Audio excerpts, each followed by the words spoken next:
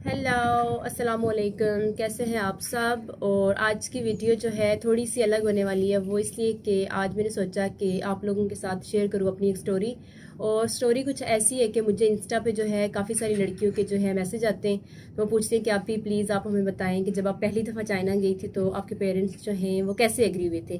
तो मैंने सोचा कि आज एक वीडियो बनाती हूँ और आप लोगों को बताती हूँ।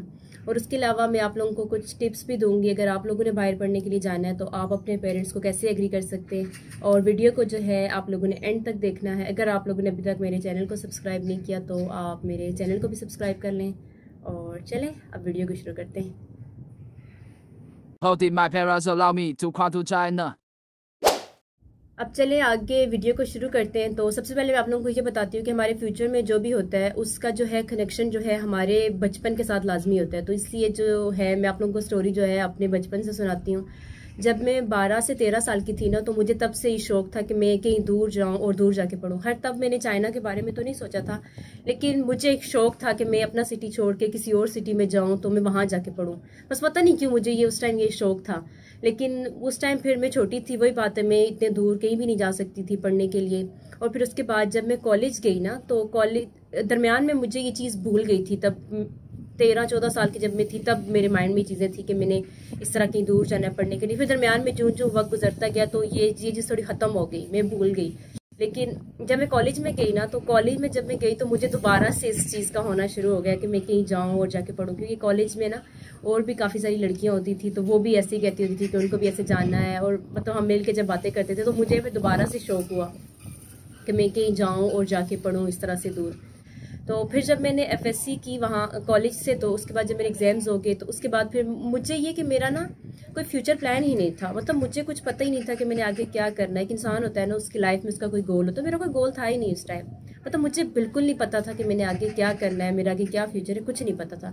और फिर उसके बाद मैंने डिसाइड किया कि मैं नमल में एडमिशन लेती हूँ, लेकिन तब भी मुझे पता नहीं था कि मैं अप्लाई किस चीज़ में करूँ। पहले मैं सोच रही थी बी इंग्लिश करूँ, फिर मैं सोच रही थी मैथ्स कॉम करती हूँ, फिर मैं सोच रही थी आईआर करती हूँ, तब तो। फिर उसके बाद भी मुझे, मेरे माइंड में ये चीज़ नहीं थी कि मैं चाइनीज़ पढ़ूँगी। तो फिर मैंने एंड पे डिसाइड किया कि मैं बी इंग्लिश कर लेती हूँ, और इंग्लिश की मैंने कुछ दिन क्लासेस ली वहाँ पर तो फिर मुझे लगा कि ये तो हम शुरू से ही पढ़ते हुए आ रहे हैं तो इसकी ज़रूरत नहीं है तो मैं कुछ चेंज करती हूँ। तो फिर तब उसी टाइम मुझे ना कुछ लोग मिले जो चाइनीज़ पढ़ रहे थे। तो फिर आहिस्ता आहिस्ता फिर मेरा जो इंटरेस्ट है वो चाइनीज़ की तरफ़ हो गया। तो फिर मैंने चाइनीज़ की कुछ दिन क्लासेस ली और मुझे काफ़ी इंटरेस्टिंग लगी। तो फिर उसके बाद फिर मैंने चाइनीज़ पढ़ना शुरू कर दी। तो फिर उसके बाद जब मैंने उधर चाइनीज़ पढ़ी, नमल में काफ़ी टाइम तकरीबन मैंने एक साल चाइनीज़ पढ़ी वहाँ पे। तो उसके बाद ये कि मेरा चाइनीज़ में ऑलरेडी जो है, मेरा इंटरेस्ट जो है वो डिवेलप हो चुका था। पहले शुरू में मुझे लग रहा था कि चाइनीज़ शायद बहुत ज़्यादा मुश्किल है, मैं नहीं कर सकूँगी, लेकिन आहिस्ता आहिस्ता फिर मुझे लगा कि मैं कर लूँगी। और फिर नमल से ही मैंने एक साल चाइनीज़ पढ़ी और उसके बाद मुझे नमल से ही स्कॉलरशिप मिली थी। तो जब मैंने अभी अप्लाई नहीं किया था स्कॉलरशिप के लिए तो तब मैंने अपने जो आसपास के जो फ्रेंड्स थे उनको बताया था क्योंकि मेरे साथ मेरी एक अपनी बेस्ट फ्रेंड भी थी, उसने भी अप्लाई किया था तो हमने बाकी अपने फ्रेंड्स को बताया किस तरह हम लोग अप्लाई करें। तो सारे ये कहते, तुम लोग चाइना जाके क्या करोगे? मतलब तुम लोग ना जाओ मतलब तुम लोग इधर ही पढ़ो सारा। और काफ़ी सारे लोगों ने हमें उस टाइम डिस्करेज भी किया था। लेकिन तब मैंने ना मेंटली मैं बिल्कुल तैयार थी कि मैंने जाना है और बस लाजमी जाना है, क्योंकि एक बंदा होता है ना, वो मेंटली तौर पे बिल्कुल तैयार हो जाता है कि मैंने ये काम करना है तो बस उसे लाजमी करना है। तो मैं बस वैसी थी तब कि मैंने सोच लिया था कि मैंने जाना है, बस जैसा भी हो मैंने लाजमी जाना है।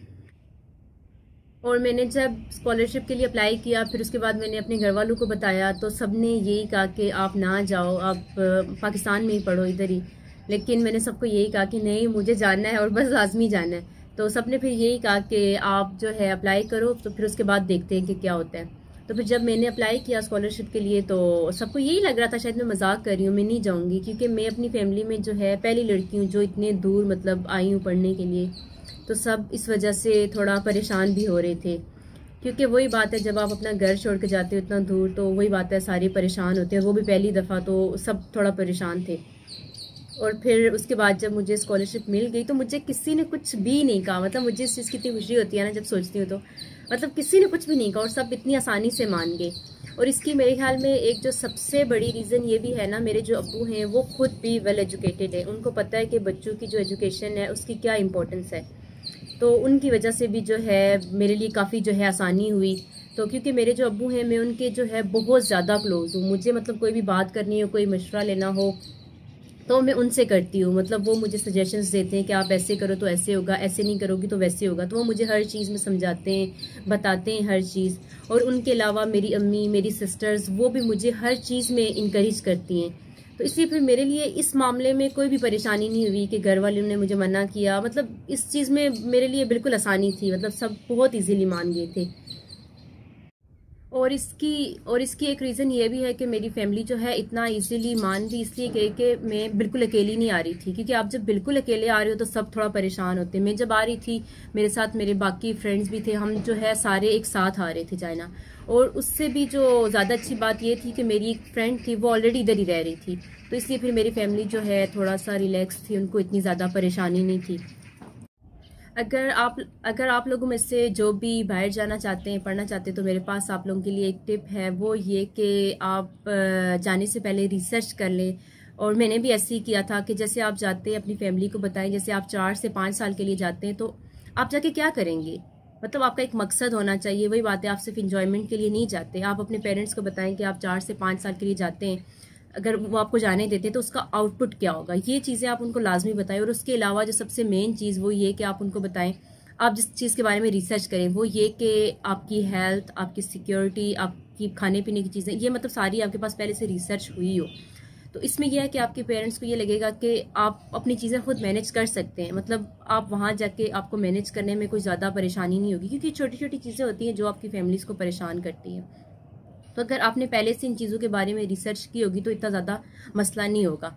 और उसके अलावा जो सबसे मेन चीज़ एक ये भी है कि कुछ लोगों के पेरेंट्स उनको अलाउ नहीं करते। एक वजह ये भी होती है कि कभी कभी ये होता है कि कुछ पेरेंट्स ऐसे होते हैं, उनके अंदर इस चीज़ की अवेयरनेस नहीं होती। आप खुद उनको बताएँ कि अगर वो आपको जाने देंगे बाहर तो आप आप जब पढ़ने जाएँगे बाहर तो उसका ये आउटपुट होगा, ये ये चीज़ें होंगी। जब आप उनको बताएँगे, आप उनका नॉलेज गेन करेंगे तो तभी वो आहिस्ता आहिस्ता उस चीज़ के बारे में सोचना शुरू करेंगे। और जब वो सोचना शुरू करेंगे इस चीज़ के बारे में, तभी तो वो फिर आपको अलाउ करेंगे ना जाना। वही बात है, वैसे अब एक बंदे को पता ही नहीं है कि आप बाहर जाएँगे, बाहर जाके आपने क्या करना है, क्या होगा। तो वो, वही बात है, वो आपको अलाउ नहीं करेंगे। जब आप उनको उस चीज़ की, उस चीज़ की अवेयरनेस देंगे, उनको बताएँगे, तभी वो उस चीज़ के बारे में सोचेंगे और आपको अलाउ करेंगे। और एक और जो बहुत इंपॉर्टेंट चीज़ है, वो ये कि आप जब बाहर की कंट्री जाते हैं तो आप अपने पेरेंट्स को ये चीज़ भी लाजमी बताएँ कि आप वहाँ जाके ना मुख्तलिफ़ किस्म की चीज़ें सीखते हैं। क्योंकि आप जब वहाँ जाते हैं, वहाँ मुख्तलिफ़ कंट्रीज़ के लोग होते हैं तो आपका जो नॉलेज है, वो बहुत जल्दी गेन होता है। तो वो चीज़ें शायद आप अपने कंट्री में नहीं सीख सकते। तो ये एक चीज़ है कि आप वहाँ जाएँ, मुख्तलिफ़ किस्म की चीज़ें सीखें। तो ये ये मेरे ख्याल में एक बहुत अच्छी चीज़ है। और उसके अलावा मेरे केस में ये भी था कि मैं जो हूँ, अपने अबू के बहुत ज़्यादा क्लोज हूँ, मुझे जो भी बात हो मैं उनसे करती हूँ, उनको बताती हूँ। तो उन्होंने मेरे अंदर ना वो चीज़ देखी थी कि इसके अंदर वो शौक है, ये कर सकती है। तो जब आपके घर वाले इस चीज़ को देखेंगे, आपके अंदर वो चीज़ है करने वाली, वो लगन है आपके अंदर तो आपको कभी भी मना नहीं करेंगे। वो आपको कहेंगे कि आप जाओ बेटा, आप करो जाके वो काम। तो इसलिए फिर मेरे घर वाले भी मान गए, क्योंकि मेरे लिए ज़्यादा इजी यही था कि मेरे अबू इस चीज़ के लिए गई थी, उनको पता था इस चीज़ का। तो इसलिए फिर मुझे ज़्यादा मुश्किल नहीं हुई। और उसके बाद अलहमदिल्ला भी मुझे चाइना में पाँच साल हो चुके हैं, मैं चाइना में रह रही हूँ। और मैंने अलहमदिल्ला अब मैं जिस मकसद के लिए आई थी, मैंने वो मकसद पूरा किया, मैं मैं चाइनीज़ पढ़नी थी, वो मैंने पढ़ी, मैंने अपनी डिग्री कंप्लीट की। मतलब मेरा जो मकसद था, मैंने उस मकसद को पूरा किया और जब मैं चाइना के लिए अप्लाई कर रही थी ना तो मुझे एक थोड़ा थोड़ा सा इस चीज़ का डर था कि शायद मना कर दें। वो ये कि मैं कॉलेज में और कॉलेज से पहले कुछ बहुत ज़्यादा अच्छी नहीं थी पढ़ाई में। मतलब ऐसे कि एक एवरेज जैसे कह सकते हैं, एक स्टूडेंट होता है, वैसी थी। मेरे कुछ इतने अच्छे ग्रेड्स नहीं आते थे या मतलब अच्छी पोजीशन नहीं आती थी क्लास में। तो मैंने जब अपने अबू से बात की तो उन्होंने कहा कि कोई बात नहीं, तुमने मतलब पहले अच्छे से नहीं किया, तुम्हारे पास अभी मौका है, तुम अभी कर सकती हो, अभी भी टाइम है तुम्हारे पास। और फिर मैंने चाइना आके बहुत अच्छे से पढ़ा, बहुत अच्छे से पढ़ा, क्योंकि एक तो ये था कि मेरे घर वालों की उम्मीदें मुझसे बहुत ज़्यादा थी और उसके अलावा मेरा अपना जो पूरा फ्यूचर है वो इस पर डिपेंड करता था। तो इसलिए फिर मैंने बहुत अच्छे से पढ़ा। मतलब इतना मैं कह सकती हूँ कि इतना मैंने अच्छे से कभी पाकिस्तान में नहीं पढ़ा था कि जितना मैंने इधर आके पढ़ा और जितनी मेहनत की। तो शुरू के दो तीन साल तो बहुत ज़्यादा मुश्किल थे, बहुत ज़्यादा मैंने मेहनत की उसमें।